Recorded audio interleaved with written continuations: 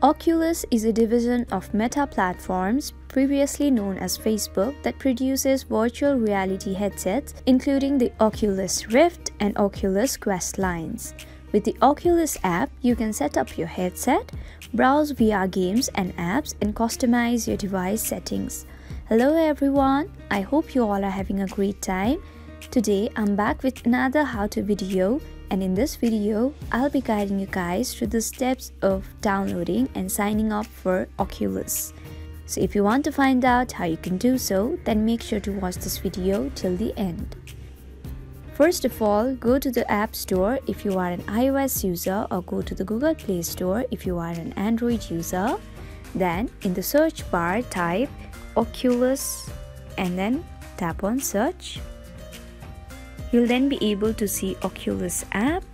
Now, right here, you'll be able to see an option Get. In my screen, you are seeing Open option. This is because I've already downloaded the app in my device. So once you have also downloaded the app, you'll also be able to see Open option. Tap on it to open the app. You'll then be able to see this interface. Now, to sign up, tap on Sign Up option. After that, you'll be redirected to Facebook. To continue, you need to tap on Continue Oculus Setup and after that, tap on Open. You'll then see this interface.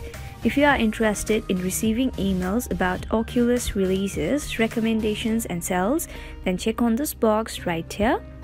After that, tap on Continue as new Oculus user. Then Oculus will create your account.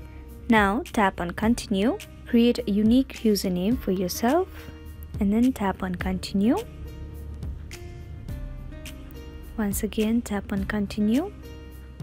You can also choose what info people can see complete all the settings and then create an Oculus pin. After that tap on next. Now you need to add payment info for VR app purchases in the Oculus store. Enter the details asked here and then tap on save.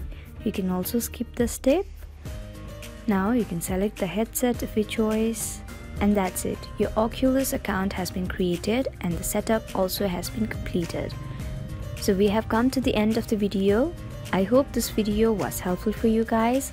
If it was, then please make sure to like, leave a comment, share and subscribe to our YouTube channel How to Geek. We'll be back with more such videos. Until then, have a great time. Bye bye.